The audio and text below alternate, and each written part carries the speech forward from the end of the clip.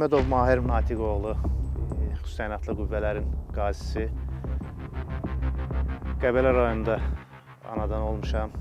Hal-hazırda Sumqayıt şəhərində yaşayıram. Vətən müharibəsinə qədər bir çox tapşırıqlarda, döyüş tapşırıqlarında iştirak eləmişəm. Vətən müharibəsi başladığı andan 27 sentyabrdan etibarən biz artıq döyüş mövqelərində idik. Düşmənin əks hücumuna qarşı, yəni növbəti düşmən təxribatına qarşı əks hücum hazırlamışdıq. Döyüş əmri verildiyi anda artıq düşmənin hücumlarının qarşısı alınması üçün xüsusi təyinatlı qüvvələr e, tam cəbhə boyu döyüş əmrinə döyüş əmrinə qatıldı, döyüş fəaliyyətinə qoşuldu. E, sərhəd bölmələrində də düşmənə qarşı e, çox uğurlu əməliyyatları icra elədi. Mənim olduğum bölmə e, Füzuli rayonundan fəaliyyətə başladıq döyüş tapşırığımız Füzuli rayonundan başladı. Füzuli rayon Qaraxanbəyli kəndindən fəaliyyətə başladıq sentyabr ayının 27-sindən. Baxmayaraq ki, düşmənin e, qarşımızda düşmənin e, böyük bir qüvvəsi var idi, cəmləşmiş bir qüvvəsi var idi. Hər cürə e, artilleriyadan, hər cürə zirehli texnikalardan istifadə edən bir bölməsi var idi. Həmin cəbhə boyu həmin istiqamətdə gedən döyüşlərdən, yəni döyüş döyüşlərin yekununda artıq Qaraxanbəyli kəndi və digər e, ona yaxın, ona bitişik kənd düşmən işğalından tam azad olunmuşdu. E, deməli, sentyabr ayının 27-sindən oktyabr ayının 2-sinə qədər çox qısa döyüş yolum oldu mənim bu vətən müharibəsində. Amma buna baxmayaraq, mən bəlkə də indiyə qədər gördüyüm döyüş tapşırıqlarından, indiyə qədər gördüyüm bir çox e, döyüş, yəni iştirak elədiyim döyüş səhnələrinin ən şiddətlisini orada yaşadım, ən acımasızını orada yaşadım. Biz e, qatil bir düşmənlə, amansız bir düşmənlə e, mübarizə aparırıq. Yəni bu bizdə heç bir e, yəni ruh düşkünlüyü, heç bir acizlik yaratmırdı. Əksinə daha çox intiqam hissi, daha çox döyüş əzmi, yəni düşmən üzərində inamlı bir qələbəyə gətirib çıxartdı.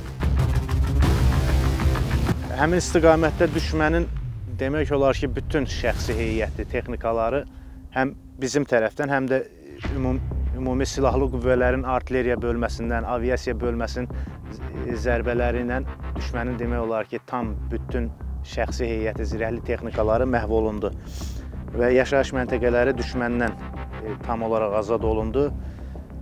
Artıq biz oktyabr ayının ikisində həmin mövqeləri e, Milli Ordunun digər bölmələrinə təhvil verib yeni bir istiqamətdən döyüş meydanına qatılmaq üçün, döyüş döyüş fəaliyyətinə qatılmaq üçün yeni bir istiqamətdən e, hücuma keçəcəkdik. Bu zaman e, oktyabr ayının ikisində artıq düşmənin qəfil gələn artilleriya mərmisi nəticəsində mənim yanıma düşən çox ağır e, bir xəsarətlə döyüş yoldaşlarımdan vaxtından tez ayrılmaq məcburiyyətində qaldım. E, həmin mən yaralandığım yerdə özünü təhlükəyə ataraq məni həmin meydandan çıxardan yoldaşlarım var. Bani Paşa əvəz hal-hazırda xidmətdə olan iki nəfər digər döyüş yoldaşlarım var. Onların da mən adlarını çəkmək istəyərdim, amma ki, xidmətə görə, onların tanınmasına görə onlara mən sadəcə təşəkkürümü bildirirəm ki, belə bir qızğın, belə bir yəni amansız bir döyüş yerindən öz yoldaşlarını döyüş meydanından çıxartdılar. Digər Vətən müharibəsinə qədər olan e, döyüş əməliyyatı 2016 aprel döyüşlərində də e, xüsusi təyinatlı qüvvələrin şəxsi heyəti qorxmazcasına, mərcəsinə şücaət göstəriblər. Ondan qabaq e, kiçik xüsusi əməliyyatlarda da indi hal-hazırda Vətən müharibəsi qəhrəmanı olan e, qardaşlarımız var. E, həmin tapşırıqlarda bir yerdə olduğumuz Camalov Ceyhun var, Həsənov Salih, Hüseynov Yaşar. Yəni bunların nəyə görə adını çəkirəm? Sırf biz bir tapşırıqda bir yerdə olmuşuq və həmin tapşırıq da çox uğurlu bir tapşırıq olub. Düşmənin postunda olan düşmən xüsusi təyinatlı 022 saylı hərbi hissəsinin xüsusiyyətləri idi. Yəni onlar da orada məhv olunmuşdu. Ümumi belə götürdükdə bu döyüşdə fərqlənməyən bir döyüşçü olmadı. Hər kəs öz məharəti ilə, öz şücaəti ilə fərqləndi. Hər kəsin yəni inanılmaz dərəcədə qəhrəmanlıqları var.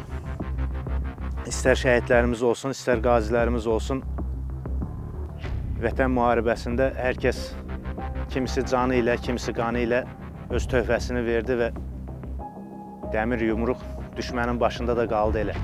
Sadəcə keçirdiyimiz 30 ilə heyfimiz gəlirdi. Kaş 30 ildən tez başlayardı bu. İndi bəlkə də müəyyən səbəblərdən bunu başlamaq biraz vaxt, qoşunların hazırlığı, təminat baxımından düzgün bir qərardır. Sadəcə 30 ilə heyfimiz gəlir ki, biz yəni erməni kimi bir millətə 30 il göz yummuşuq. Çox şükür ki, 30 ilin başında Azərbaycan ordusu tək düşmən üzərində, erm tək erməni üzərində qələbə qazanmadıq. Ermənini dəstəkləyən bütün havadarların üzərində qələbə qazandıq biz. İstəyir hegemon dövlət olsun, istəyir kiçik dövlət olsun, hər kim ki ermənini dəstəkləyirdi, onlar artıq Azərbaycanın gücünü, qüdrətini gördülər.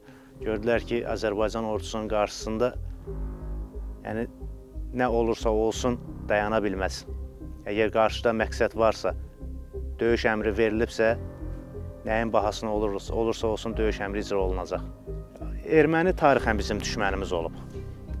Hər zaman da erməniyə qucaq açmışıq, həmişə də xəyanətə məruz qalmışıq, ermənin xəyanətinə məruz qalmışıq.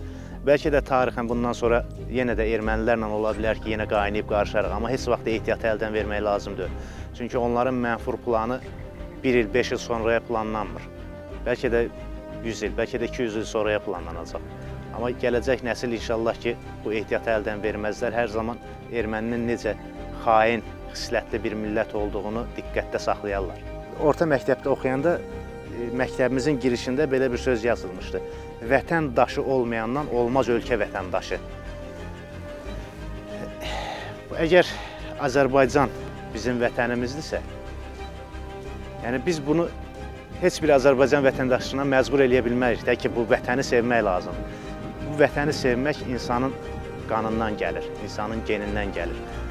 Necə ümumilli liderimiz deyir, vətən vətənpərvərlik insanın daxilindəki duyğulardır. Əgər bunlar yoxdursa, o insan mənəviyyatsızdır.